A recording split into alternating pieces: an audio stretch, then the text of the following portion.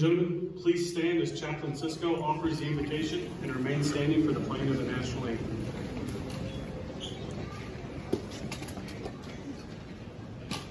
Morning, ladies and gentlemen. I invite you to join me in prayer.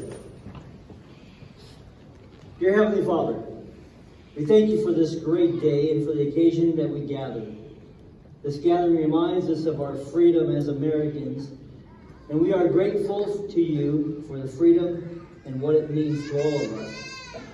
As we look over this group of graduates today, we're reminded of the great cost of freedom over the years.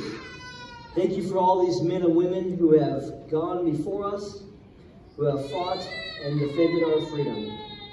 Thank you also for those soldiers here today who have volunteered to serve their country during this very important time in our history.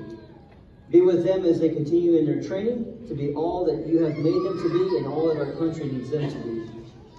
Keep them safe as they go from here to places yet unknown, to AIT and the greater training. Help them to turn to you as they need their strength to go on and the courage to face another day.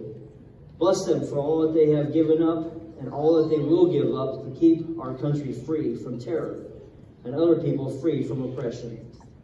Father, I also ask that you bless the drill sergeants and the cadre who have invested so much time, energy, and knowledge into shaping these once citizens and civilians into the warriors that we see today.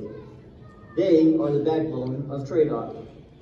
Thank you for the families and friends gathered here today as well. Bless them for their support, for their loved ones, and for our country. Be with us all as we celebrate the great accomplishments of these graduates as we seek to please you in all that we do. It's in your precious and holy name we pray.